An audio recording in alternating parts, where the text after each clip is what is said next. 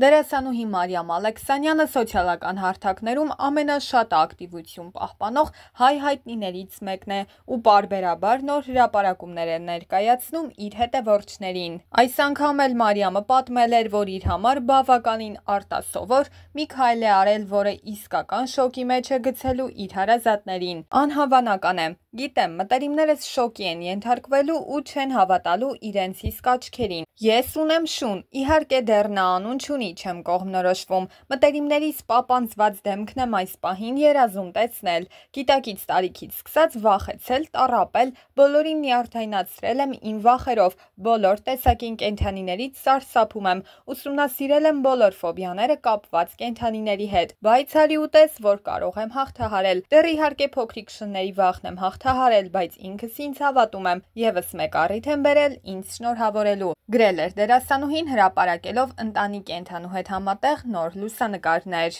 Մարիամ Ալեքսանյանը հանրության լայն շրջանակներին հայտնի դարձավ Շանթ հեռուստաընկերության այրված անորջներ հեռուստասերիալից։ Այնտեղ դերասանուհին մարմնավորում էր գլխավոր հերոսուհուն, ում շուրջ էլ հենց զարգանում էին գրեթե բոլոր իրադարձությունները։ Դեռ տարիներ առաջ հարցազրույցներից մեկում դերասանուհին նշել էր, որ այդ նախագծում աշխատելու շուրջ երկար է մտածել։ Առաջարկը ստանալուց հետո որոշում կայացնելը շատ բարդ էր ինձ համար։ Այդ շրջանում ինստիտուտում քննություններ ունեի մի տեսակ ամեն ինչ խառնված կապված էր իրար, չգիտեի ընդունեի հրավերը թե ոչ։ Երկար մտածում էի արժե արդյոք, ինչն է կարևոր ինձ համար։ Մյուս կողմից էլ անձնական կյանք, ներքին աշխարհս էլ շատ ծանր վիճակում էր։ Իդեպ տեսակս այնպիսին է, որ շատ դժվար եմ որոշումներ կայացնում յուրաքանչյուր հարցի հետ կապված որոշում կայացնելու համար ինձ օրեր եմ պետք մտածելու, ծանր ու թեթևանելու, ռիսկի գործոնները հասկանալու համար։ Մի խոսքով արդյունքում որոշեցի ընդունել առաջարկն ու այսօր Փառք Աստծո ամեն ինչ հասցնում եմ, թեև աշխատում եմ բավականին ծանր գրաֆիկով։ Սերիալի տնօրեն Հարություն Մովսիսյանն էլ կարողացավ ինձ համոզել, որ կարող եմ հասցնել։ Խոսելով իր հերոսուհու մասին դերասանուհին նկատել էր,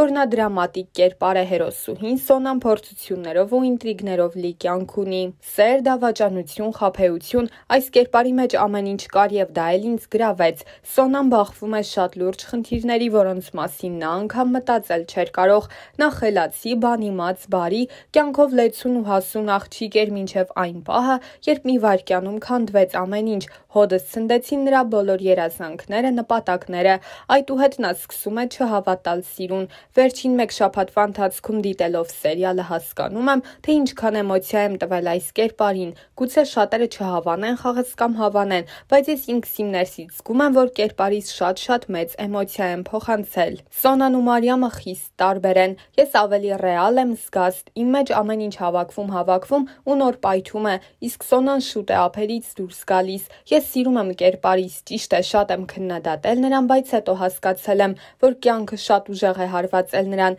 Կերպարից հետ այնքան էլ հաշտ չեմ։ Մտովի շատ եմ վիճում, բայց իմ խաղընկեր Կարեն Ասլանյանը ինձ միշտ փորձում է համոզել, որ ես սխալ եմ մտածում։ Հերոստասերիալի հիմքում ընկած էր մինչև ամուսնություն աղջկա սեռական կապի եւ հասարակության արձագանքի կոնֆլիկտը։ Հարցին թե ըստ նրա Հայաստան Հայաստանում շարունակվում է ցավագին ընդունվել այդ երևույթը եւ առհասարակ այս իմաստով այրված անուրջները կարող է մարդկանց մտածողության վրա ազդել, Մարիամը նշել էր. Մենք ապրում ենք այն երկրում, որտեղ մարդկանց քարկոծելն ու բարձունքից իջեցնելը մի վայրկյանում կարող է կատարվել։ Մեր հասարակության մեջ կա մի զանգված, որը ապրում է քննադատելու, խոսելու, բամբասելու համար։ Ժողովրդի նեգատիվը բոլոր ժամանակներում էլ կարող է ազդել մարդու վրա։ Ժողովուրդը քեզ կարող է բարձրացնել եւ հենց այդ նույն ժողովուրդն էլ կարող է իջեցնել քեզ։ Ես ինքս շատ པարզ եմ ապրում, աշխատում եմ ոչ մեկի չքննադատել, չչարախոսել, քանի որ դա շատ բացասական էներգիա է ինձ տալիս, որը կարող է փոխանցվել իմ շրջապատին եւ դա լինի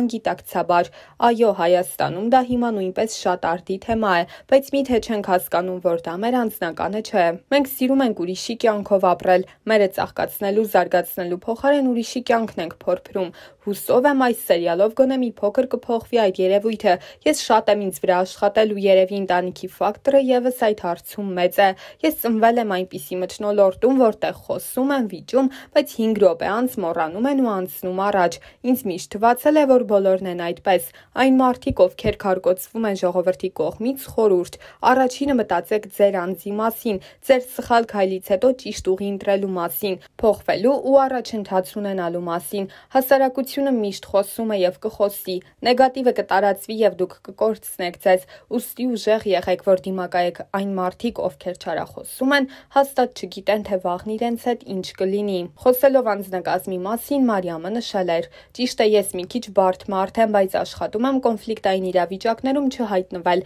Անձնակազմը շատ լավն է, բոլորն էլ իրենց գործը շատ լավ են կատարում։ Այստեղ ռեժիսորը մտածում է որակի մասին, իսկ դա ողջունելի փաստ է ինձ համար։ Ուրախ եմ, որ ունենք հիանալի երկու օպերատորներ, որոնց նյարդերը ես շատ եմ ուտում։ Այս անձնակազմում աշխատելով արդեն իսկ ձեռք են բերել լավ ընկերներ։ Իդեմս Կարեն Ասլանյանի, Ժաննա Բուտուլյանի, Արման Խաչատրյանի, Էլեն Ազնավուրյանի, Էլեն Սարգսյանի ու Սարգիս Եղիազարյանի։ Ուրախ եմ, որ խաղում են պրոֆեսիոնալ դերասաններ Անի Պետրոսյանի, Սուրեն Արուստամյանի, Տիգրան Ներսիսյանի, Յուլիա Ֆինկի հետ նրանցից շատ բան եմ սովորում։ Իսկ խոսելով այն թեմայի մասին, թե արդյոք թատրոնում աշխատելու մտադրություն ինքը ճունի, Մարիամը նշել էր. դա իմ ցավոտ թեման է։ Իմ երազանքն է ընդունվել թատրոն ունեմ ֆավորիտ թատրոններ, որոնք շատ եմ սիրում։ Հիմա առաջնային նպատակներիցս մեկը հենց թատրոն ընդունվելն է։ Դեռ սովորում եմ թատերականում փոխադրվել եմ 4-րդ կուրս ու սով եմ նպատակներիս կհասնեմ։ Աստված ինձ հետ է, ես շատ մեծ հավատ ունեմ եւ վստահ եմ,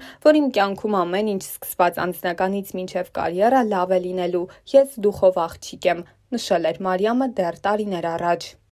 Երեկվա քննարկումը տեղի չունեցավ, որովհետև ես սարսափելի գխացավ ունեի ու չէի կարողանում կենտրոնանալ մտքերս հավաքել, որ կիսվեի ձեզ հետ։ Այդ պատճառով հիմա խոսենք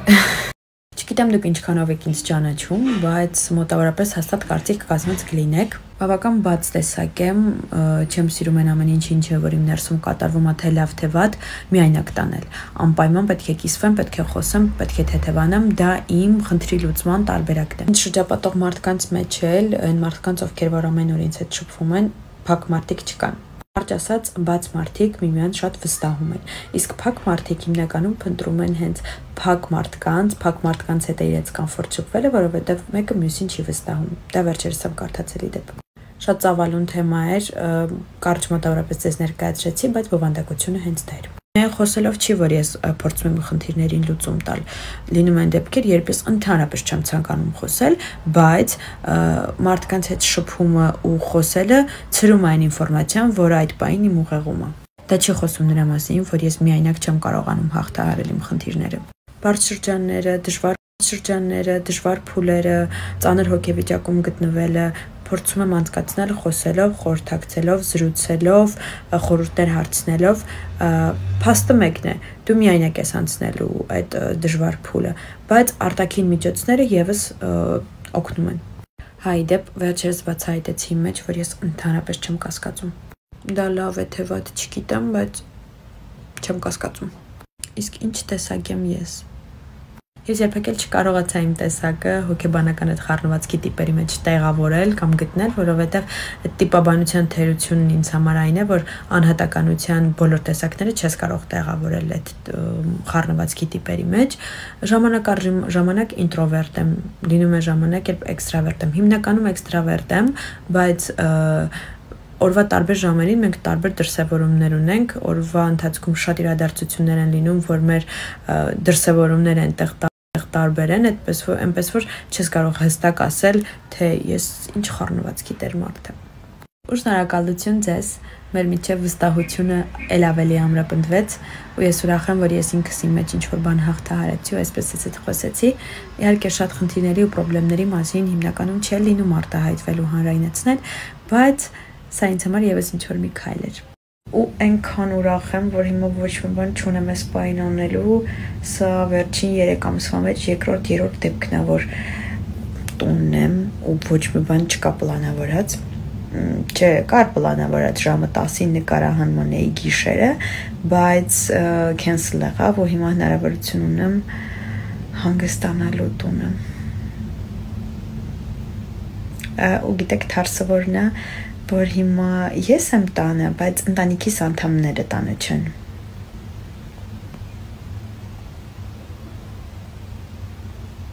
Այս բանին սա եմ կարդում Հրաչյա Մանոկյանի երբ հասուն դարձա գիտակցական հասունության մասին է